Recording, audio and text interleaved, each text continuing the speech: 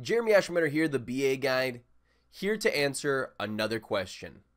How should I prepare for my ECBA certification exam? Let's start explaining with some of the terms and abbreviations.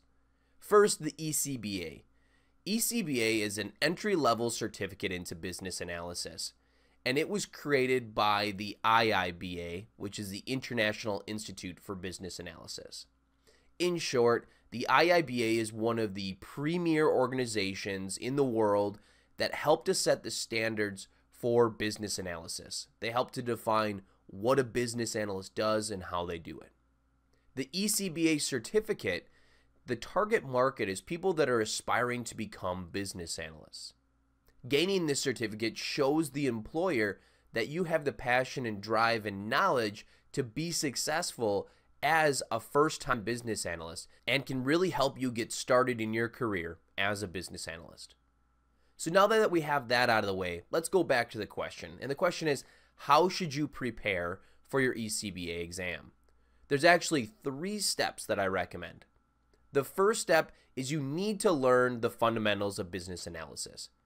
My opinion, the best way to do this is through some type of in person or online course to teach you the base concepts. This is going to teach you everything from what a business analyst is, their role, what they're responsible for in a specific project, and what techniques are they going to utilize to perform their duties. Without having that base concept and that base knowledge, I find that a lot of people struggle to really absorb and understand what a business analyst is doing and how they can grow to become one.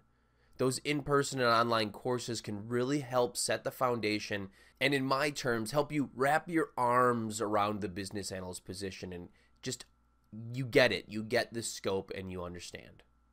And the second step is to read and study the BABOK. The BABOK is the business analyst body of knowledge. It's created by the IIBA, and that body of knowledge, that big, thick 500 page manual, it helps to set the standards for business analysis. The reason I don't recommend that you just study the BABOK, because that has all the answers for the exam in it. The exam is built off of the BABOK. But the reason I don't suggest you start with that is it can be very confusing. If you don't understand business analysis and the techniques and the concepts, trying to read that manual is very overwhelming. And so that's why I recommend you start with some type of in person or online course to teach you the basics of business analysis. It'll help to make that this second step much easier because you'll understand some of those other pieces already and can help to put everything into place. And the third step is to take some ECBA practice exams. There's a lot of resources out there with various questions that you can take, and I recommend you to do this for a couple reasons. Number one, it'll just get you in the habit of answering these questions. Just working through these questions that are worded like the exam will get you familiar and comfortable with the types of things that they're going to be asking from you. But more importantly, it's going to help you identify the areas that you need a little bit more studying or polish on prior to taking the exam.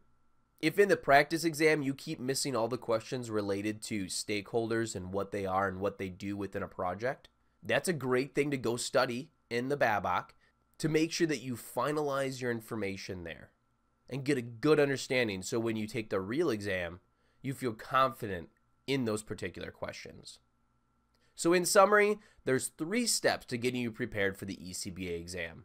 First thing, understand business analysis fundamentals. Take an in-person or an online course to help wrap your arms around the concepts of business analysis what a business analyst is and what they do. The second thing is to read and study the BABOK. That's the business analyst body of knowledge. That is what the exam is based off of. All the answers are within the BABOK somewhere. And so you need to make sure that you're studying that, getting familiar with the terms and how they word things throughout that manual. And then the third and final thing is to take some practice ECBA exam quizzes. So that way you get comfortable with the questions, how they're worded, but as well to identify and solidify any areas that your knowledge is a little lacking.